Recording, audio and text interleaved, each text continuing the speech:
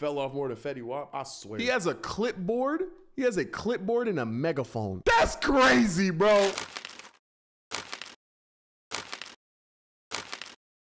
And today we got a reaction that is most definitely not getting monetized. Members reacting to life sentences, not getting monetized. No, it's yeah, yeah. So um, I'm just posting this one for the love of the game because there's no way. Let's just get straight into This it. cake member was sentenced to life in prison. Holy, how do you get chopped that bad? Oh my gosh. Bro, being white with a with a chopped haircut, it, it has to be physically impossible. Because you're telling me if I could go to supercuts, I would be happy. Because like there's supercuts everywhere. You're telling me you can go get a haircut as easily as you can get a McDonald's McChicken and you still have this? That is crazy, bro. No excuse. No excuse. Because African Americans, I was about to say the N word, I'm not supposed to be cursing. I gotta, bro, I gotta go on Yelp. I gotta go on Booksy. I gotta talk to them. I gotta explain exactly what I want. It's like a whole thing. You could go to Supercuts and be like, let me get a number five. And you still have this. Man, But you won't believe why. Welcome back, Charlie here. yeah, I'm, yeah, this video's getting cooked. This video's getting cooked. The Ku Klux Klan, or KKK, was founded as a hate group in the USA. The group was most active in the 19 You know what's crazy? They fell off. Like they really fell off because this this looks scary. This looks scary. But if I see if I see a member now, if I see someone dressed like this, like by himself, I'm I'm on that. Uh, I can't curse. It, it's not fun. I'm on that butt. That don't even sound right. Not cursing so lame, bro. 20s. Fell off more than Fetty Wap. I swear. But you may be surprised to learn there are still Like, bro, this, like, bro, look at the aura, bro. Look at the aura, bro. Look at the aura. Look at the aura change, bro. Look at this, right? You gotta look. Klux Going Klan, from this, KKK, was founded as a hate group in the USA. bro, they got shields. They got the flags. The group was most active in the 1920s. They got the torches. But you He has a clipboard. He has a clipboard and a megaphone. That's crazy, bro. That's a crazy fall off, bro. I'm not gonna lie. What is what is in that clipboard? may be surprised to Nigga said KKK con. learn Like, there bro, are still thousands of men. I'll beat this. what? What? I'll drop this nigga, bro. members of this evil group. Today we'll look at Times K Oh my god. Oh my god. Look at this. Look at this. He look like the dad from Coward Courage the Cowardly Dog, bro. There's no way. There's no way him in a ghost costume is intimidating me, bro. There's no way. KKK members were I haven't cursed. I've been bleeping myself. sentenced to life behind bars, and their wild reactions in the Yo, does um does not hitting a woman rule go away if she's a KKK member? Genuinely curious. Yes. Yeah. Okay. The courtroom. First, we have to look at Edgar Ray Killen. Edgar Ray Killen was a prominent KKK He look like Walt White. member. In 1964, he planned the murder of three people. Andrew Oh, this is gonna make me upset. Okay. Goodman, Michael Schwerner, and James Cheney had their lives ended. Wait, why do you go for? The three vic- victims were civil Okay. rights activists. Oh, They were participating in the Freedom Summer of 1964. This was a big civil rights protest in Mississippi. The three men had just visited the victims of the burning of a black church. But that's when a KKK member who worked for the police arrested shocker. arrested the men. The police said they were speeding, but there was no proof. After the men were released from jail, their car was tailed by the KKK. The KKK then forced their car off the road, and then shot the the three activists inside, sadly ending their lives. Rest the men were found 44 days later buried in a dam. Shockingly, at the time, the state of Mississippi refused to prosecute any of the men responsible. But in 1967, 18 men were arrested for the incident. Yo, yo, yo, yo, yo, yo, yo, yo. Yo, yo, yo, cursing off, cursing off. Look at this nigga, bro! Yo, look at this nigga's eyes. Oh my god.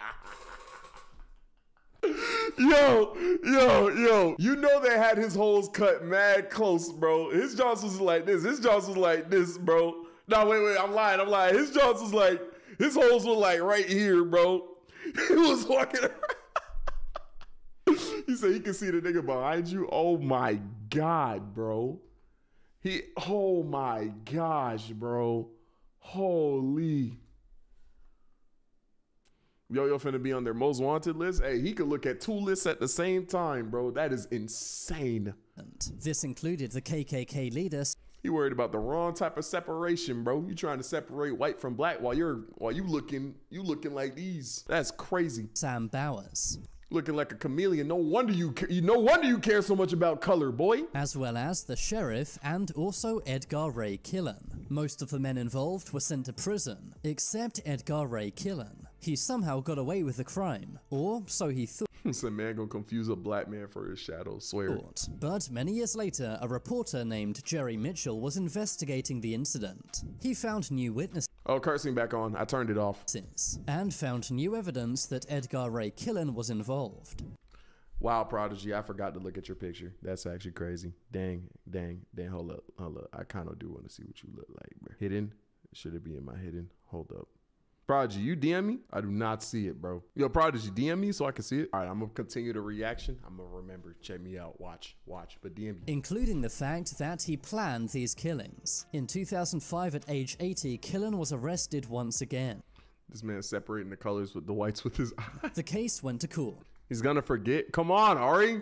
He was found guilty for the crimes and was sentenced to 60 years in prison. Given that he was 80 at the time, this of course meant a life sentence. Done. Edgar Ray Killen passed away in 2018 while behind bars. It's a shame justice was only served 40 years after the crime. He already lived a full life. But although late, at least justice was served. Next, we have to look at Sean Berry, Lawrence Brewer, and John King. In 1998, these three men ended the life of James Byrd Jr. This took place in Jasper, This video's gonna make me upset. This video's gonna make me upset, bro. Ah, fuck. Texas. The three men offered to give James a ride, but instead of taking James home, the men took him to a remote road. They then assaulted James and dragged him behind a Ford pickup truck for three miles. Sadly, James would later pass away from the injuries. The men then left James's body in front of a black church. James was found the next morning. There was no surveillance cameras or any witnesses. So, how were these evil men caught? Well, it was basically down to their own stupidity. Near the area where the killing took place, police found a wrench with the word Berry written on it, obviously Okay. belonging to Sean Berry. Police Putting your name on the murder weapon is crazy work, bro. also found a lighter with the word Possum on it. Possum was John King's prison nickname.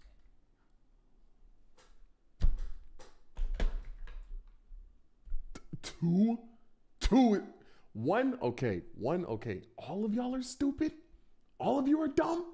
Lawrence Brewer and John King were well known white supremacists, making it very obvious this was a hate crime. King even had several very hateful tattoos on his body, including the logo of a hate group named the Confederate Knights of America. A judge found Sean, Lawrence, and John all guilty for James's Confederate Knights of America would not do this stuff in a current hood, bro. I swear. I swear they wouldn't, bro. murder. In 2011, Lawrence Brewer was executed by injection, and in 2019, John King met the same fate. Sean Berry was sentenced to life in prison, but could be out as early as 2038. Next, let's look at Kayla Norton and Jose Why are you crying? Why are you crying? You chose. You chose to put that goofy. Oh my god, I hate not cursing, bro. What do I say instead of the A word, bro? That goofy looking. So lame. You chose to put that pillowcase over your head, bro. You chose to do that. Do not cry.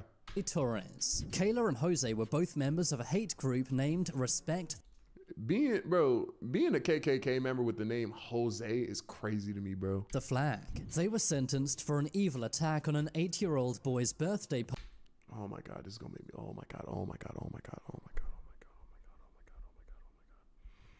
Oh my god. Oh my god. Oh my god. Oh my god. This is gonna make me mad. This is gonna make me mad. This is gonna make me mad. party in Georgia. They said various racial obscenities. They also I remember this. I remember this. I remember this. I remember this. I remember this. So threatened to use firearms and also waved Confederate flags, all while I remember heavily. this. This took place in July 2015, only Edward one month 47X cheered. X100. All I gotta say is this ish don't happen in Baltimore. I seen what happens to racist in my city. Boy, I'm telling you, bro, they fell off, bro. Let someone, bro, in South Carolina, the thing is, everyone had Confederate flags when I grew up, bro. Everyone, everyone. Like girls had it on their phone cases, teachers had it on mugs. I seen it on hats. I seen it on trucks in the parking lot. I seen it on houses. It's, bro, it was everywhere. Let that happened. Let me catch, bro. Bro, they lucky I wasn't big. Bro, bro, I wish. After someone ended nine lives This happened. This happened in South Carolina. This literally happened in South Carolina, bro. I, yeah, Dylan Roof. Yeah, that was South Carolina. in a black church. Kayla Bro, it happened in Charleston, South Carolina. It happened where I was from. It was a church downtown. I remember this. And Jose also threatened various black drivers. A judge later declared Respect the Flag as a street gang. In the courtroom, Kayla Norton cried and apologized I don't care. I don't care. Cry in a cell. Guys to the victims' families. I would never walk up to you and say those words to you. I know. That's why you were in a truck. Dummy. So sorry that that happened to you. How are you sorry it happened to me? You did it. Jose Torres was also seen crying. In the end, Jose Torres Your name is. All right, bro. was sentenced to 13 years in Your name is Jose Torres. Bro, you're on the wrong team. Prison. Kayla Norton was given six years in prison for her part. They were also both banned from entering Douglas County ever again. Next, we have to look at Jeremy Christian. In May 2017, Jeremy was on a train in Portland, Oregon. That's when he had a massive freakout. He started making very racial remarks and threatening many passengers on the train. Taliesin Namkai-Meche and Micah David Cole Fletcher stepped in. They told Jeremy to calm down and stop making hateful remarks. But that's when Jeremy pulled out a knife. I remember this too. I remember this too. I remember this too. men along with another passenger named Ricky Best. Micah thankfully survived, but Taliesin and Ricky sadly both passed away. Jeremy Christian then ran away. He was soon arrested and went to trial. The surviving victim, Micah, said that he has nightmares every night, just proving the lasting effects of Jeremy's evil crimes. In the end, Jeremy was given two life sentences plus 51 years, with zero chance of parole, Yo, meaning what this is on his dome? What is on his dome, bro? dangerous and hateful man will never be released from behind bars. That's probably a good thing, seeing as he had a major freakout in court.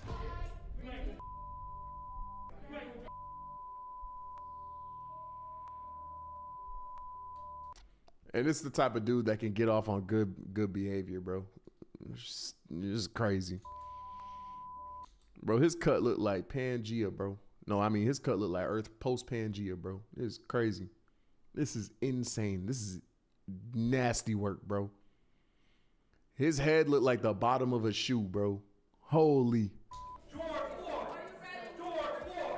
Oh my god, what a f- what a loser. Oh my god, bro.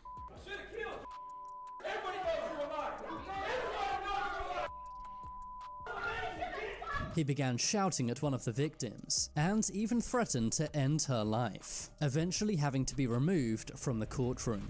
Next, we have to look at Russell Courtier. Stop crime, Stop crime, Stop crime. This crime also took place in Portland, Oregon. One day, Russell Courtier was arguing with Larnell Bruce Jr. outside a 7 Eleven, but things escalated rapidly. Russell Courtier got into his Jeep and ran over Larnell. Why'd you say Jeep and show a BMW? Escalated rapidly. Russell Courtier got into his I'm paying attention to her. I'm paying attention to her. My, my his fault. Jeep and ran over Larnell Bruce Jr., sadly ending his life. But why would Russell Courtier do this? Well, it turns out he was part of a hateful prison gang named European Kindred. He had the oh group's logo on his hat as well as a tattoo on his Bro, you do not look like them.